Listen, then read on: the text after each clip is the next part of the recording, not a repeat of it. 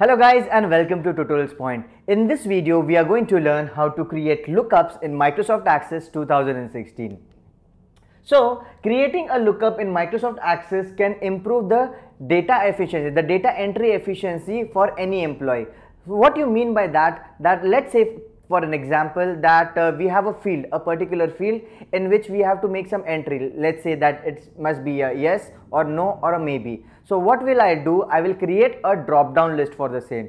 Now this slide says says the same thing that the lookup field displays the data as a drop down list so that the user can select the desired value from the list okay so this is how we can we are going to learn how to create this drop down menu in microsoft access this drop down menu in microsoft access is known as a lookup field all right now if you go on the next uh, slide you can see that this is the step to create a lookup field. So we'll go through step one by one now the first step is launch the lookup wizard to create a lookup wizard for a particular field. So i launch the lookup lookup wizard. The next thing it is asking you choose how the lookup field will get its value. So basically we can create our own uh, drop down menu or we can create the drop down menu from a different table. So my next step will be whether you want to create your own value or you want to choose the value from a different table.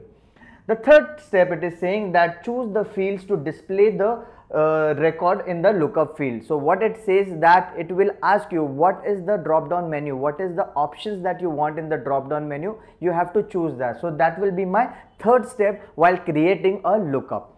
The fourth step it is asking me choose a label for a lookup field. So whenever you create a lookup field you need to give it a label. So it will ask you to give a label or give a specific name to that particular lookup field and next uh, step is saying that you have to save the table and last step if you can see you have to go under the datasheet view and you have to go to that particular field and you can see the drop down menu and you can see your desired values.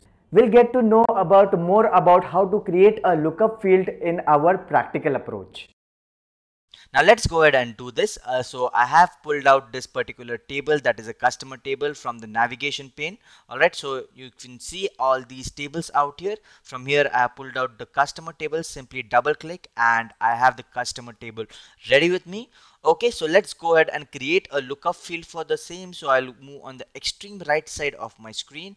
Now in our previous video we have already learned how to create a lookup field by defining my own choices. That is uh, I want to uh, have yes no or maybe field. That's right? Now this time we are going to create a lookup field with the help of a different table. We are going to relate the two tables and get the lookup field from a different table altogether. So in order to do that, I will need to go to the design view and under the design view, I'll simply click on design view and let's say that I have all these fields, but also I would like to see the products, right? So I'm using the uh, products, I'm introducing a new field that is a products field and under this drop down menu, I'll go to the lookup wizard right from this lookup wizard I will say that I want to the lookup field to get the values from a, another table or another query. So I will select the first option. I simply hit next. Now it is asking me from where you want that order uh, the product table to get from. Uh, I say I want this table as my reference. I simply hit next.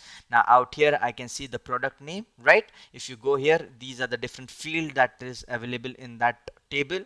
So this is the field which I'll be requiring. So I'll simply take this field hit next. Now it is asking me what should be it should be aligned to it should be aligned to the product name right? So I simply hit next and the next thing it is showing me the different product that we have out here. Okay these are the products which I'll be needing.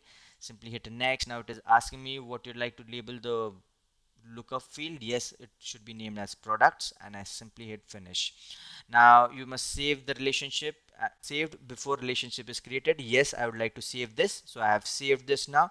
Now let's go and see under the datasheet view whether the following changes has been done or not. So uh, I will simply click on datasheet view.